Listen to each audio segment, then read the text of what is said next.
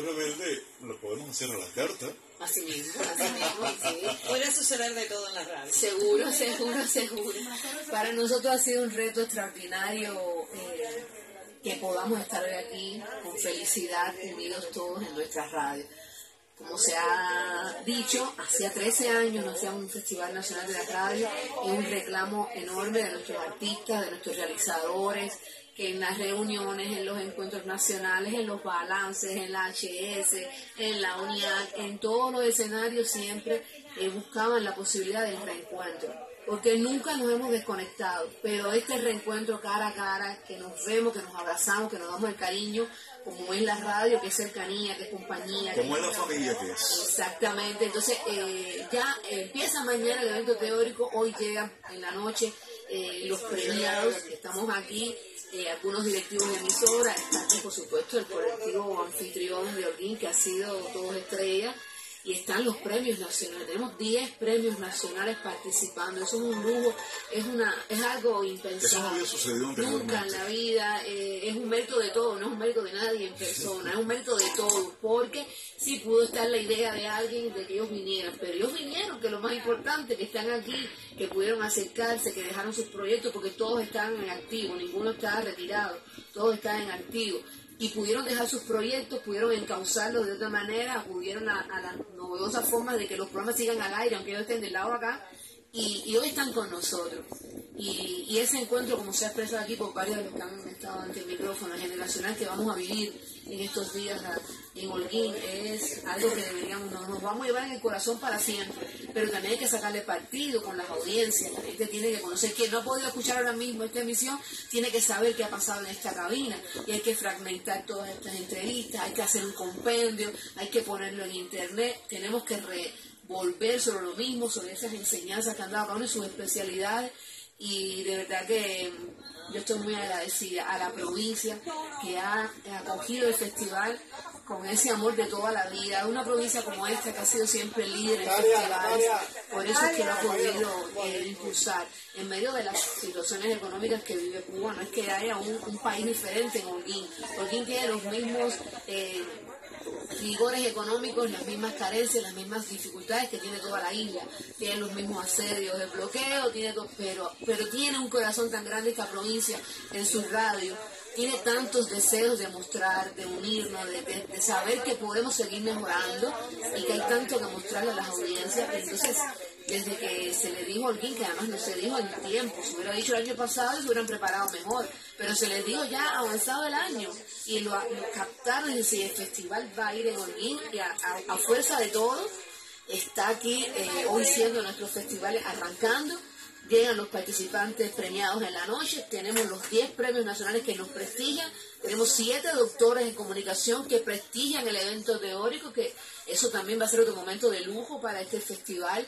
Y claro que pueden participar todos, la mayor, la mayor posibilidad está en los radialistas holguineros, le hemos dado una cuota grande a Holguín, a las emisoras incluso municipales que puedan acercarse, van a venir. Y estamos todos muy, muy contentos de poder estar aquí de verdad Yosaima, realmente ha sido un honor, un lujo que Holguín haya sido pues la sede del Festival Nacional de la Radio, que hayan confiado en nuestra provincia, en todo el equipo de dirección, porque desde que se dio la noticia, pues Natalia reunió a todo su equipo y ha estado trabajando con el apoyo de muchas personas que han logrado que vaya a ser el Festival Nacional lo que ustedes esperan, porque así va a ser. En esa audiencia ahora con... Eh, que es la directora de reloj y Rebelde. Odalis Oriol, me dicen por aquí, venga por acá, venga para acá Odalis, así aquí, bueno, en, en, en la radio las órdenes de la dirección ¿verdad?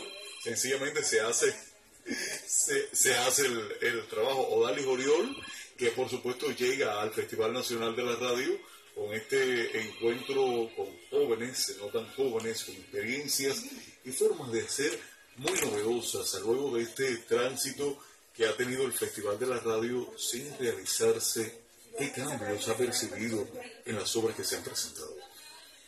Bueno, tenido la posibilidad, un gusto saludar a toda la audiencia de este programa, al colectivo, a todos los amigos que cariñosamente nos acogen esta mañana en Radio Angulo. Un placer, yo tengo sentimientos desde muy pequeña de cariño por la radio guinera, porque a los cinco años conocí a Enzo Querol de la Paz en Radio Mayarí y me quedé prendado de la radio.